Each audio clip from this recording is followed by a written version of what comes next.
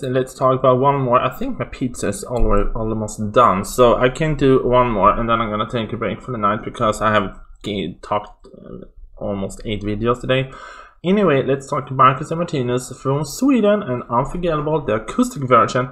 I mean, we know what we are gonna get from them in as they are opening the finals, and we know that they're gonna perform during the semifinal, which I think is pretty nice because the, that can give the big five a little bit. Oh, this is what you come with.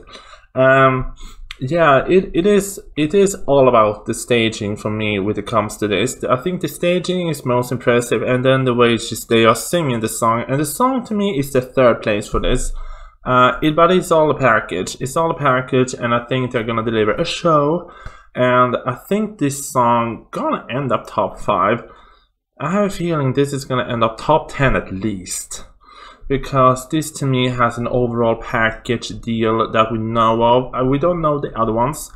Many people can surprise, but as for now, this might be my top five. Anyway, let's see. Because I saw them live and uh, they are amazing. Can you imagine the, the cheering in Malmö Arena? She comes alive at night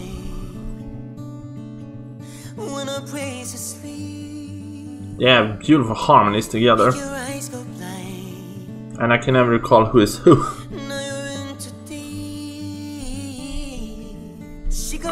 and I'm also gonna say when we're watching Melfest because it was their their their semifinal, I think was the last one. I actually appreciated the fact that they were actually sharing that one of the twins had a little bit low self-esteem when it comes he doesn't think he is good enough when it comes to singing. I was like bun have you heard yourself?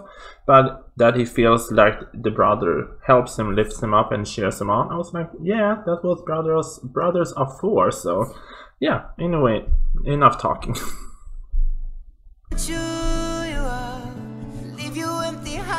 If you're so handsome, brothers. They sing beautifully together. You're gonna be busy this summer.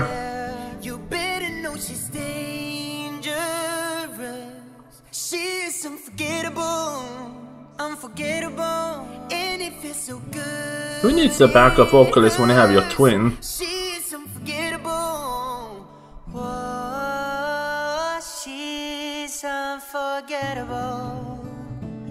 It was beautiful.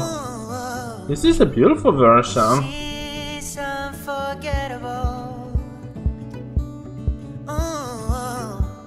I really love his shoes, those white shoes, I want them. In the star 13, please.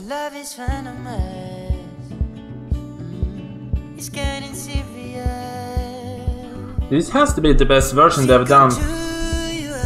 I mean, after the Melfest finals, when I watched them live, and I was like, yeah, if you base it on the cheering, it was the correct winner. This is the best version they've done since. This is the best performance they've done since that, because I've seen the pre-parties, and I'll be like, yeah, when we don't have the staging, the songs feels it lacks it lacks the that but this is actually beautiful i think they're showcasing the song in a whole new way with this one and it's beautiful I like it. I like it at least. Anyway, I she gonna hurt you bad. But if it's so good, I don't care. No, I don't care. You better know she's dangerous. Unforgettable. And if it's so good,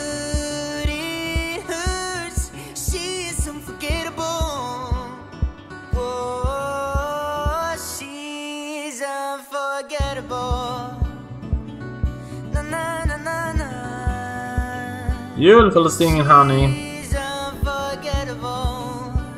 This is the best version of this song if you count out. Oh, it's gorgeous. I think it was beautiful.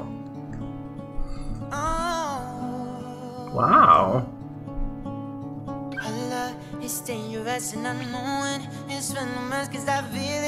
It's dangerous and unknown. It's venomous cause I feel it inside of me. She's unforgettable. Her love is dangerous and I know it. It's venomous cause I feel it inside of me. She's unforgettable. Wow. I mean, I have to say that this is beautiful. This was one of the best acoustic version I've seen of every Eurovision songs out there. I'm not saying that because I'm Swedish myself. This really showcased the voices in a whole new way and showcased the song in a whole new way. And I was like, girl, that impressive. I'm gonna say it was beautiful. And uh, yeah, this was a beautiful version of this one. I really like it. So thank you, Marcus and Martinus. And if you like me, please subscribe. Mwah. Bye. Oh hi, you're still here. Have you? I hope you have not forgotten to subscribe. So subscribe here and look for the uh, recommended video over here and end credit now. Bye.